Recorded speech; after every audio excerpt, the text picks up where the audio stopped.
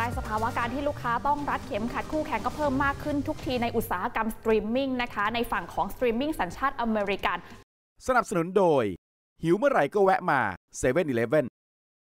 ก็เลยต้องพยายามทำกำไรให้ได้ค่ะ นั่นก็คือ Max ที่เมื่อก่อนมีชื่อว่า HBO Max นั่นเอง ล่าสุดมาพร้อมกับนโยบายนะบอกว่าเดี๋ยวเตรียมที่จะห้ามการแชร์รหัสผ่านแล้ว นับได้ว่าเป็นสตรีมมิ่งรายล่าสุดนะคะ ที่ตามรอยไม่ว่าจะเป็น Netflix หรือว่า Disney Plus ก่อนหน้านี้ที่ก็ออกใช้นโยบายนี้ไปแล้วค่ะ มาดูความคิดเห็นนะคะจาก Max กันที่เมื่อก่อนเนี่ยเขาคือ HBO Max เป็นสตรีมมิ่งของ Warner Bros Discovery หรือว่า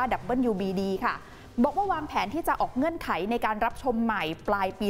2024 นี้แล้ว ซึ่งนี่ก็เป็นข้อมูลจาก JB p a r e t หัวหน้าฝ่ายสตรีมมิ่งและเกมระดับโลกของ WBD ที่กล่าวในการประชุมเทคโนโลยีสื่อและโทรคมนาคมของ Morgan Stanley เมื่อสัปดาห์ที่ผ่านมานะคะ เกี่ยวกับการจัดการปัญหาการแชร์พาสเวิร์ดที่ถึงแม้จะยังมีข้อมูลออกมาน้อย แต่ก็พบว่าแนวโน้มการเก็บเงินค่าแชร์การใช้งาน ถูกคาดการณ์ว่าจะแผ่วงกว้างในอุตสาหกรรมมากขึ้นในปีหน้าค่ะ ดังนั้นเนี่ย Max ก็จะเป็นสตรีมมิ่งล่าสุดนะ ที่จะจัดการกับการแบ่งปันรหัสผ่านดูพูดดู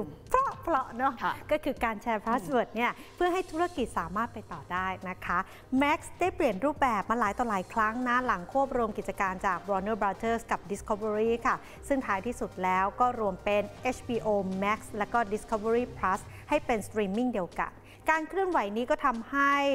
WBD เป็นผู้ผลิตภาพยนตร์สัญชาติอเมริกันรายแรกนะ ที่สร้างผลกำไรทั้งปีจากการสตรีมด้วยค่ะ ขณะที่ Netflix เองก็เริ่มปราบปรามผู้ใช้ที่แชร์รหัสผ่านนอกบ้านไปเมื่อปีที่แล้ว โอ้โห ตอนนั้นในไทยนี่คือคึกคักมากเลย ดูไม่ดูดูไม่ดูสุดท้ายเห็นได้ข่าวสมัครเหมือนเดิม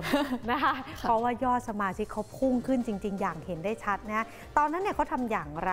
Netflix ก็ส่งอีเมลไปยังผู้ใช้ที่น่าสงสัยนะว่าเอ๊ะคุณแชร์รายละเอียดการเข้าสู่ระบบให้กับผู้ใช้ภายนอกครัวเรือนทราบ ก็จะทำให้บัญชีถูกระงับนะคะ ในทำนองเดียวกันค่ะ เมื่อไม่นานมานี้นะคะดิสนีย์ก็แจ้งให้สมาชิก Disney Plus แล้วก็ Hulu ทราบถึงแผนการที่จะแปลงผู้ที่ต้องสงสัยว่าแชร์บัญชีให้เป็นสมาชิกแบบชำระเงินค่ะ โดยดิสนีย์ก็ส่งอีเมลถึงลูกค้าในเดือนกุมภาพันธ์นะคะ เพื่อแจ้งให้ทราบว่า ข้อกำหนดในการให้บริการของพวกเขาจะมีการเปลี่ยนแปลง และการแบ่งปันข้อมูลการเข้าสู่ระบบกับใครก็ตามที่อยู่นอกครัวเรือน จะถูกห้ามตั้งแต่ 14 มีนาคมเป็นต้นไปค่ะ ความเคลื่อนไหวลักษณะนี้เกิดขึ้นเมื่อผู้ใช้บริการ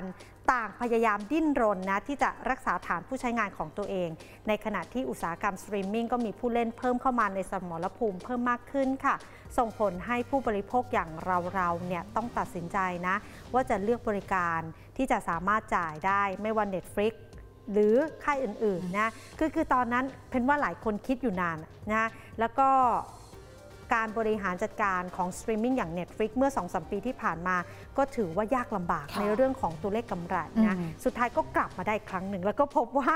มีสมาชิกแล้วก็รายได้ที่เพิ่มขึ้นเมื่อปลายปีที่แล้วค่ะ หลังปราบปรามการแชร์รหัสผ่านค่ะ ส่วน Disney Plus เองก็เพิ่มสมาชิกได้เหมือนกันนะแต่ยังคงต้องดิ้นรนเหมือนกันเพื่อได้ผลกำไรอย่างไรก็ตามกับ Bob Iger CEO ของดิสนีย์ก็เชื่อว่า การสตรีมเนี่ยสามารถเริ่มที่จะสร้างรายได้ได้ภายในสิ้นปีนี้นะ จากโมเดลการมีโฆษณาคั่น และก็ประสบการณ์แอปเดียวของ Disney Plus แล้วก็ Hulu ที่ผนวกกันในปีนี้นะคะ อันนี้ก็เป็น